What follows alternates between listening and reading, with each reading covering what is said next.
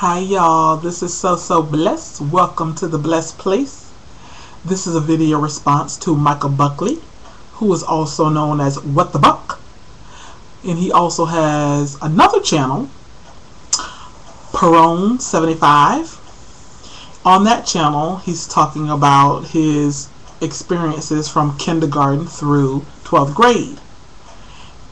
And he spoke about kindergarten and it just reminded me of a funny story that I can remember some almost 35 years later. I was in the second grade. My sister was in kindergarten. And I can remember vividly that one day my mom told me, Your sister's not going to school, so stop by her class and tell her teacher that she took some working medicine and she won't be in class today. I get to school, I stop by my sister's class, and I tell the teacher, My mom says Deborah won't be at school today because she took some working medicine. The teacher was immediately horrified. And she became so emotional. Oh my God, what happened? Is she in the hospital? Is she okay?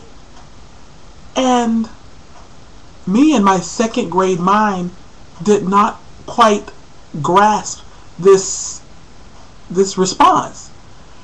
And it confused me for a moment. And then I started thinking, I don't think she understands what I mean. And I anybody ever out there ever heard of working medicine? I don't know if that's just the vernacular of black people from the south or that was just my family's vernacular. Anybody ever heard of that? Working medicine?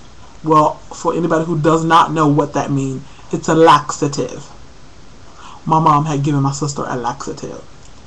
So somewhere in my second grade mind, I figured out that this teacher doesn't understand what working medicine is. She thought my sister had overdosed on something. So I said, oh no, she's okay. It's just that my mom gave her some medicine to help her go to the bathroom. And the teacher, with relief, said, Oh, okay, thank you. And I walked away thinking, I think that was the first time that I realized, wow, we don't all speak alike. and here it is, about 35, 33 years later, and I can remember that story like it was yesterday.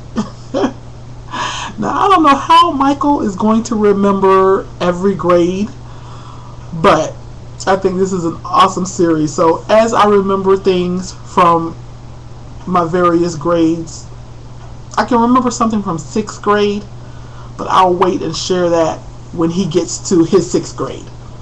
Okay? Y'all be blessed. Love y'all.